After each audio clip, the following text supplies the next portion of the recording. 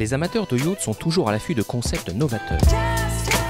Avec le Tender 38 Oronero, le designer Alex Pirard est parti du principe que les propriétaires de super yachts doivent utiliser des bateaux plus petits pour aller dîner sur la côte ou rendre visite à un autre yacht. Avec le Ronero 38, l'idée est de le faire dans les meilleures conditions de confort possibles.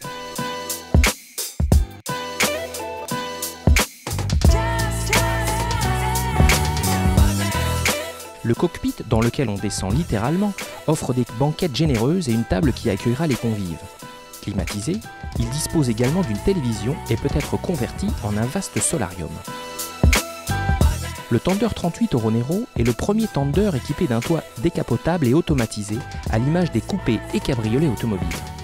Construit entièrement en fibre de carbone par Hightech Marine, l'Oronero 38 se singularise par ses systèmes d'escamotage omniprésents. Sur les flancs, on trouve deux plateformes qui offrent la possibilité d'accéder à son bord de façon à la fois pratique et sécurisée.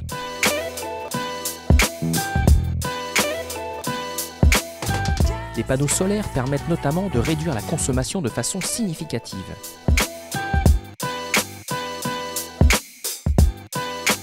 Très sobre, les aménagements de l'Oronero 38 sont vastes et élégants, cuisine, salle de bain et une petite salle à manger qui peut être convertie en chambre se partagent l'espace.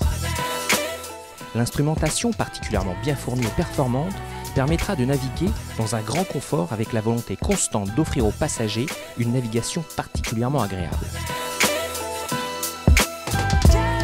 Ce Thunder Oronero 38 est une véritable limousine flottante et il n'est pas sans rappeler les cabines cruisers des années 30 tels qu'ils étaient conçus outre-Atlantique.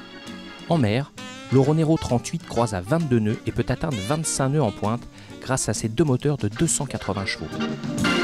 Son look hors du commun, la qualité de sa fabrication et ce concept coupé et cabriolet ont de quoi séduire les armateurs les plus exigeants, à tel point que ce tender a été choisi par la célèbre marque de voiliers italien Perinevi pour assister ses super yachts lors de régates et autres rassemblements.